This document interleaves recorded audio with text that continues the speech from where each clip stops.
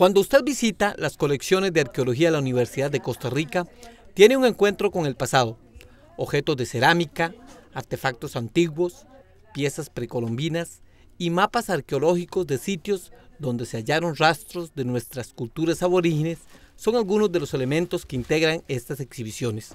Entre otras tenemos colecciones de cerámica, de lítica, o sea, de artefactos de piedra como metates. Eh, tenemos también colecciones de semillas, de, de plantas.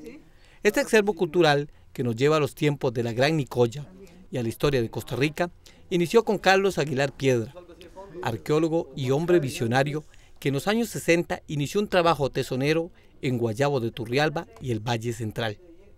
Estas colecciones ubicadas en el sótano de artes musicales, son laboratorios de investigación y de formación, donde profesores y estudiantes dedican muchas horas para descubrir elementos culturales de nuestros antepasados precolombinos en distintas regiones del país. Cuando hace unos 30 años se creó el programa para arqueólogos, entonces para también labores de docencia, este, desarrollo de investigación no solo de los profesores, sino también de los estudiantes.